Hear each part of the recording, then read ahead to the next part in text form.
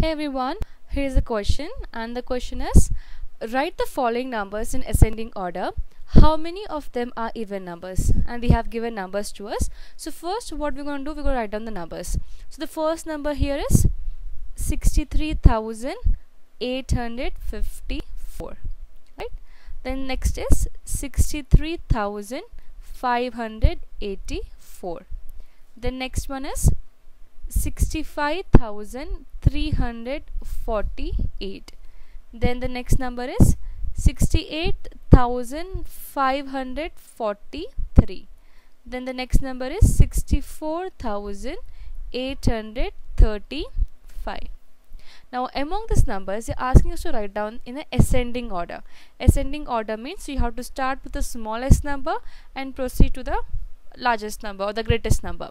So the smallest number here is here we have a 63,000 and here we have a 68,000 65,000 64,000 so smallest is 63,000 but here there are two 63,000 one is 63,854 next one is 63,584 so if you look here 63 and 63 is same. The next digit here is 8 and here it is 5 now since 5 is a smaller, first number will be this one 63,584.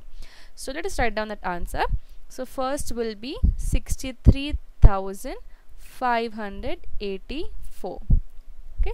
Now this one is smaller. Then the next again next one is this one right. You can put this or you can just leave this one. So this is the first number. Then second is again 63,854 so first two digits are over.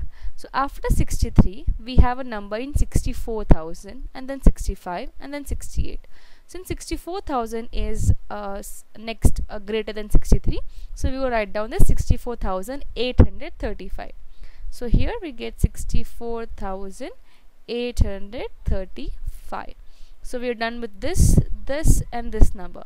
We have a two more numbers. One is 65 and one is 68 since 65 is next we're going to write down 65,348 now the last number left is 68,543 now next they're asking us to write down the even numbers.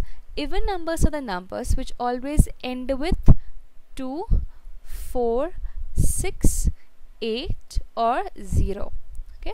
These are called even numbers. So here even number will be the first number you can see it's ending with 4 so this will be 63854 the next number here we have is again ending with uh, 4 so this is 63584 the next we have again ending with 8 so this will be 65000 348 the next one we have is ending with 3 and 5 they are odd numbers since they're not ending with 2 4 6 8 and 0 so this was a simple question. I hope it's clear.